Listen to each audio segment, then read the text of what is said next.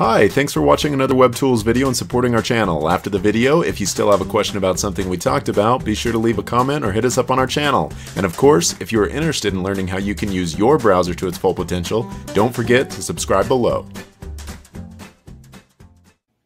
I want to show you how you can make a watermark in Pixlr. This can be done online without having to install any software. So you can see here I have two copies of an image, and in this copy right here, I have our Web Tools logo um, in a, as a watermark there. So if I were to print this off or save this file and put it somewhere else, that logo would follow it. And it's kind of transparent there. You can see um, when I zoom in, you can see the blades of grass there through the logo. So it's got some transparency. It's not just a logo slapped on top of there. And uh, to do this, I'm going to do the same thing here with this copy of the same photo. So I've got my Web Tools logo here. I'm going to come and select it. And if you hit Control A, that will select everything. Come over to uh, the image that you want to put it on and hit Control. Oh, hold on, I didn't copy it. So I hit Control A to select it and then Control C to copy.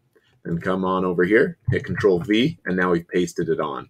And all of these, uh, even though I'm using the key commands, if you forget the key commands, you can just use these right up here in the menu, copy, paste, and then select all. So keep that in mind. And the key commands are over here. If you're doing a lot of uh, work um, I mean, any kind of work really, copy and paste and select everything is really applicable.